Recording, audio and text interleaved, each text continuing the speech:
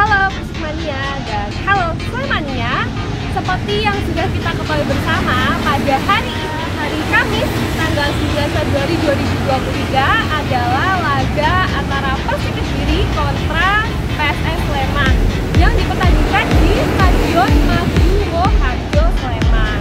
Nah, teman-teman, pastikan kita udah tahu ya, nanti laganya itu jam 5, tapi sayang banget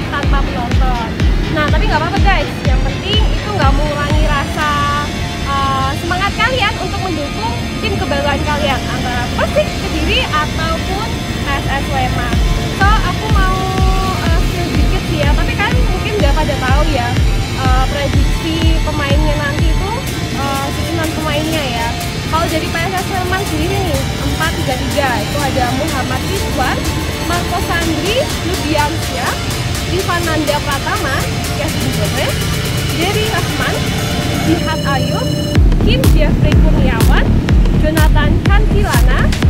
Daddy's